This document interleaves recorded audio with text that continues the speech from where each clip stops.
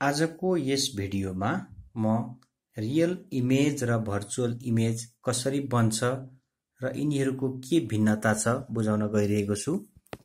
सर्वप्रथम virtual image बुझाउनको लागि मैले यहाँ एउटा एक्सपेरिमेन्टल सेटअप गरेको छु जसमा एउटा क्यान्डेललाई मैले अब्जेक्टको रूपमा लिएको छु र त्यसको सिधा अगाडिपट्टि मैले एउटा प्लेन मिररलाई राखेको छु।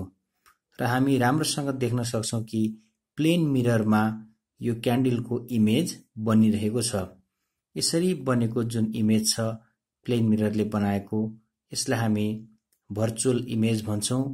यो इमेजलाई किन भर्चुअल इमेज भनेको हो भन्दाखेरि यो इमेज बन्ने क्रममा जुन लाइट रेजहरू अब्जेक्टबाट गएको छ तिनीहरू एक्चुअल इन्टरसेक्सनबाट नभएर एपारेन्ट इन्टरसेक्सनबाट बनेको हुन्छ। अर्थात् जुन इमेज म देखिरहेको छु त्यो इमेज मैले किन देखिरहेको छु भन्दाखेरि यो जुन अब्जेक्टबाट गएको लाइट रेजहरू छ त्यो लाइट रेजहरू मिररको सर्फेसबाट रिफ्लेक्सन भएर मेरो आँखासम्म आउँछ र त्यो मेरो आँखातिर आइरहेको जुन रिफ्लेक्टेड रे छ त्यो रे चाहिँ मलाई कहाँबाट आए जस्तो लाग्छ भन्दाखेरि त्यो मिरर पछाडिपट्टि जुन देखिरहेको छु आकृति त्यसबाट आए जस्तो मलाई लाग्छ।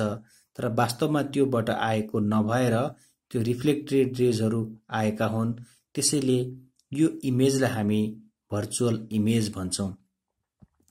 र यो भर्चुअल इमेजको एउटा विशेषता के छ भने यो चाहिँ अब्जेक्ट जतापट्टि फर्किएको छ यो इमेज पनि त्यतैपट्टि फर्किएको हुन्छ। जस्तै मैले यो प्रयोगमा क्यान्डेललाई अब्जेक्ट मानेर यसलाई मैले ठाडो पारेको छु भने जुन मिररमा म इमेज देखिरहेको छु त्यो इमेज पनि ठाडै छ। यस प्रकारको इमेजलाई भन्छौँ हामी erect image so virtual image is erect यो त भयो भर्चुअल इमेजको कुरा। अब रियल इमेज के हो र कसरी बन्छ म त्यो देखाउन गइरहेको छु। यसको लागि म यो मिररलाई अब यहाँबाट निकाल्छु र मैले योभन्दा अगाडिपट्टि एउटा लेन्सलाई राखेको छु जुन यहाँ राम्रोसँग देख्न सकिन्छ। यो मैले प्रयोग गरेको चाहिँ एउटा कन्भेक्स लेन्स हो र जब लाइट रेजहरू यो अब्जेक्टबाट लेन्सतिर जान्छ लेन्सबाट त्यो लाइट रेजहरू रिफ्र्याक्सन हुन्छ। र रिफ्र्याक्सन भएर गएका रेहरू जब एक्चुअली इन्टरसेक्ट गर्छ त्यो ठाउँमा चाहिँ यसले रियल इमेज बनाउँछ। यो जुन मैले देखि देखाइरहेको छु स्क्रिन स्क्रिनलाई मैले अहिले वालको रूपमा प्रयोग गरेको छु। वाल नै मेरो स्क्रिन हो अहिले र यसमा हामी एकदमै राम्रोसँगले इमेज देख्न सकिरहेको छौँ। यो क्यान्डलको फ्लेमको र यो इमेज हाम्रो रियल इमेज हो। किनभने यो चाहिँ लेन्सबाट रिफ्र्याक्सन भएर गएका रेजहरू एक्चुअल इन्टरसेक्सनबाट बनेको हुन्छ र यसरी बन्ने इमेज चाहिँ जहिले पनि यो इन्भर्टेड हुन्छ हामी हेरौँ। यो चित्रमा यो इमेज जुन देखिरहेको छौँ यो फ्लेम डाउनवार्डतिर बलिरहेको देखेको छौँ। तर वास्तवमा हाम्रो फ्लेम अब्जेक्ट जुन छ त्यो माथितिर फर्किएको छ फ्लेम उँभोपट्टि फर्केर बलेको छ। तर यो इमेज चाहिँ यसरी मुनिपट्टि फर्केर बलिरहेको जस्तो हामी देखिरहेका छौँ। त्यसैले यसरी बन्ने जुन रियल इमेज छ। यो रियल इमेज जहिले पनि इन्भर्टेड हुन्छ र रियल इमेजलाई चाहिँ हामी यसरी स्क्रिनमा प्रोजेक्सन गर्न सक्छौँ। तर भर्चुअल इमेजलाई हामी स्क्रिनमा प्रोजेक्सन गर्न सक्दैनौँ। अब आउँछ प्रश्न कि प्लेन मिररले चाहिँ रियल इमेज बनाउँछ कि बनाउँदैन? अर्थात् प्लेन मिररबाट बनाएको इमेज हामी स्क्रिनमा प्रोजेक्ट गर्न सक्छ कि सक्दैनौँ?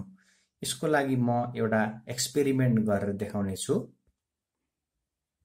अब मैले यो जुन लेन्सबाट गएको लाइट रे हो यहाँ स्क्रिनमा इमेज बनाउनको लागि त्यो रेको बाटो म ब्लक गरिदिन्छु एउटा प्लेन मिरर राखेर। यसरी प्लेन मिरर राखेर मैले त्यो रेलाई ब्लक गरिदिएँ भने अब त्यो प्लेन मिररले त्यो रेलाई रिफ्लेक्सन गर्छ। र रिफ्लेक्सन गरेपछि यसले जहाँ इमेज बनाउन हो त्यस त्यो ठाउँमा म एउटा स्क्रिन राख्छु। यसरी मैले एउटा स्क्रिन राखेँ भने हेर्नुहोस् यो प्लेन मिररबाट जुन लाइट रेजहरू गएको थियो त्यो यसरी मैले स्क्रिनमा अप्टेन गर्न सकेँ। भनेपछि प्लेन मिररबाट पनि हामी यसरी रियल इमेज बनाउन सक्दो रहेछौँ। तर यो किन पोसिबल भयो भन्दाखेरि यो म फेरि पनि देखाउँछु जुन इमेज चाहिँ यसरी रियल इमेज जुन लेन्सले बनाएको थियो त्यो रियल इमेजलाई अहिले अब्जेक्टको रूपमा काम गरेर अब यसरी मैले प्लेन मिररलाई यहाँ राखेपछि त्यो प्लेन मिररले चाहिँ यसरी हामीले हेऱ्यौँ भने यो स्क्रिनमा रियल इमेज बनाउँदो रहेछ। भनिसकेपछि जब अब्जेक्ट भर्चुअल हुन्छ अब्जेक्ट भर्चुअल भएको केसमा चाहिँ यसरी प्लेन मिररले पनि रियल इमेज बनाउँदो रहेछ। अब्जेक्ट किन भर्चुअल भयो भन्ने प्रश्न हुनसक्छ। यो हाम्रो वास्तविक अब्जेक्ट यो रियल अब्जेक्ट हो कसको लागि भन्दा यो लेन्सको लागि। त्यही भएर यो रियल अब्जेक्टको रियल इमेज यसरी लेन्सले बनायो। तर यो रियल इमेज बनाउँदाखेरि जुन रे गइरहेको छ त्यसलाई मैले यसरी प्लेन मिरर राखेर ब्लक गरिदिएँ भने अब जुन अघि वालमा बनेको इमेज थियो रियल अब त्यसले भर्चुअल अब्जेक्टको काम गर्छ र यसरी प्लेन मिररले पनि रियल इमेज बनाउँछ र प्लेन मिररले बनाएको इमेज पनि यसरी हामी स्क्रिनमा प्रोजेक्ट गर्न सक्छौँ।